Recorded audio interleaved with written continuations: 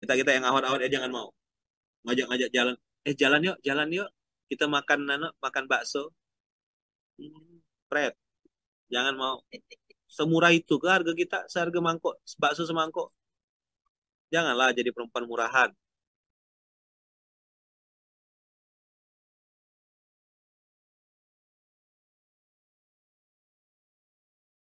Saya Masya Allah, tabarakallah tuh belajar hidup, belajar kehidupan.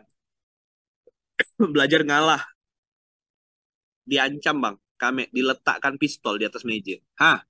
Kau ngapa datang sini? Kau tuh nggak ikut perang di Poso nih. Ada orang pakai gamis, pakai baju, jidat hitam, jenggot. Uh, nih, kau ngapa datang sini? Kau tuh nggak ikut perang kata dia. Kami diam lah, diam ya. Ketakutan kan pistol.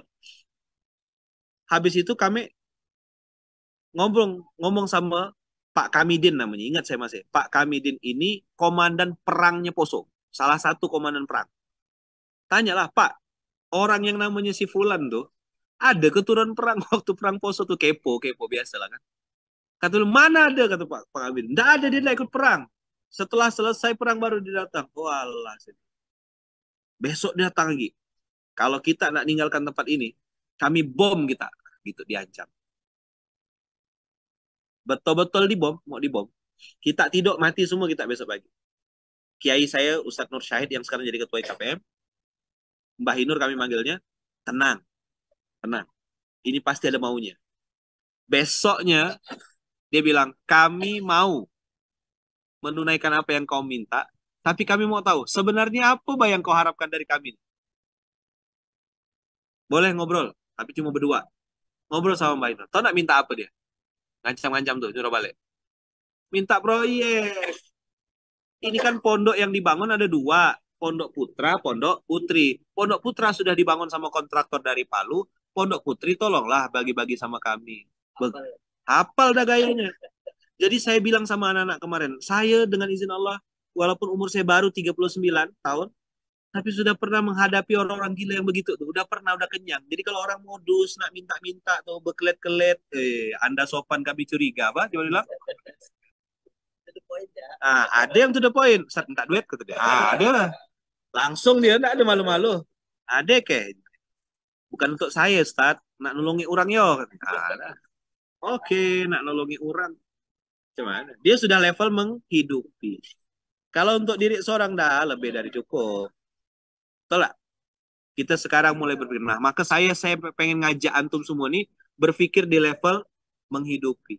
Mudah-mudahan ya nanti Allah takdirkan. Kan saya ini ngelihat antum nih kayak ngelihat anak saya sendiri gitu.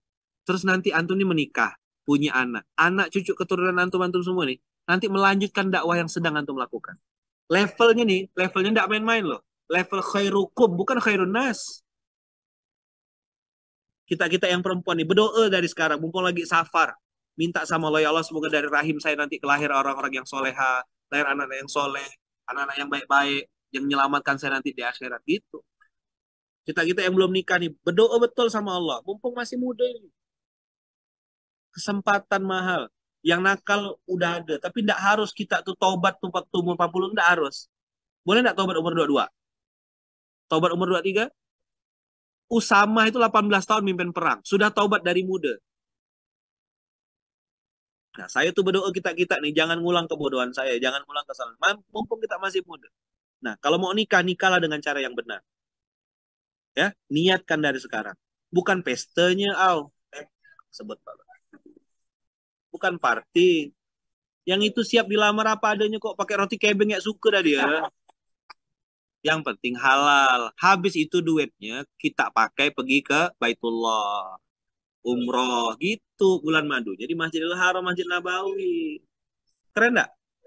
Bisa kebayang enggak? Gitu masa depannya. Paham enggak? Antum-antum. Jadi berdoa gitu, ya Allah mudahkan. Kasih tahu sama calon pasangan yang kita siap enggak? Mau enggak membersamai? Ini kan kita-kita ini udah depan mata dan nih. Tapi paham yang saya maksud. Hidup ini tidak hanya sekedar makan-makan, happy-happy. Apalagi?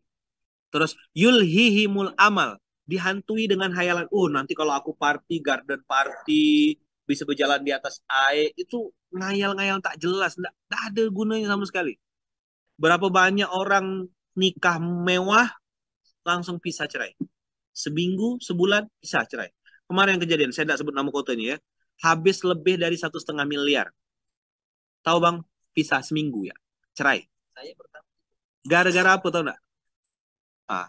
Saya pertama. Ah, tuh. Ah, seminggu. Gara-gara apa cerainya?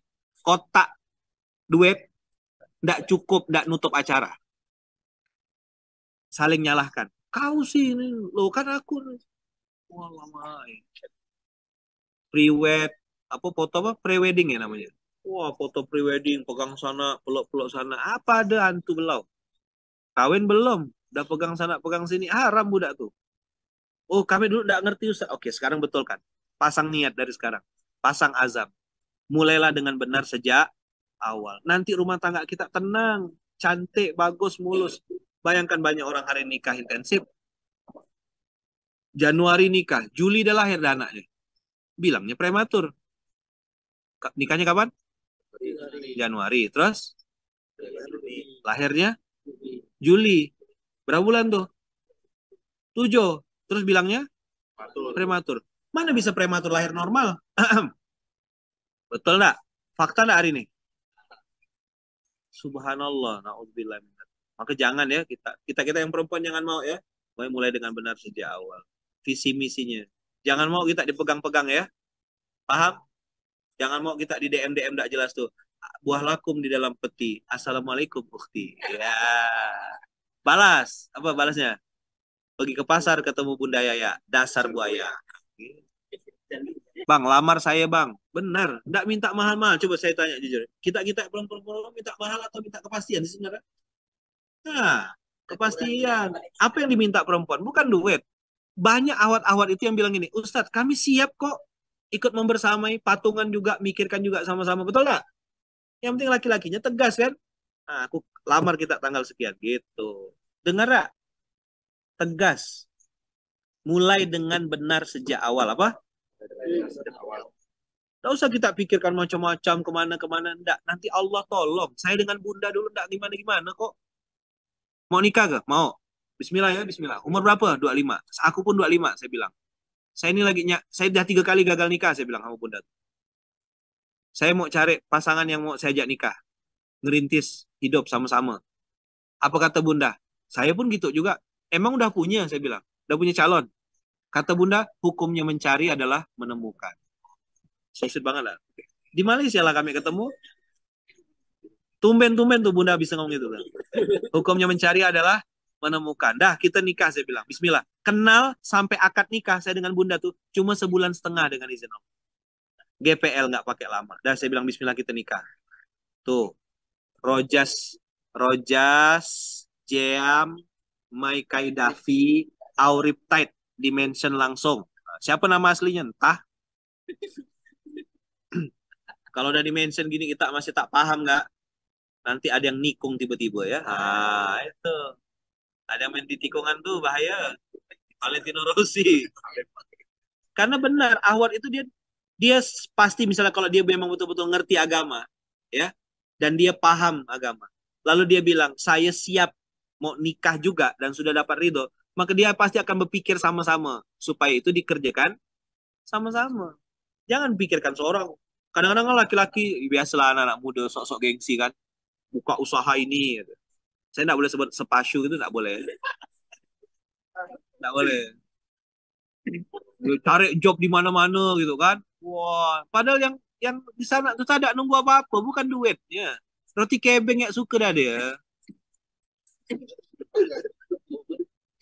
Betul lah. Nah, aku nak nikah, aku nak mau berzina. Kau mau nak jadi teman aku, partner aku, kita nikah. Sama-sama kita ngeritis hidup, belajar hidup, kehidupan, dan menghidupi orang.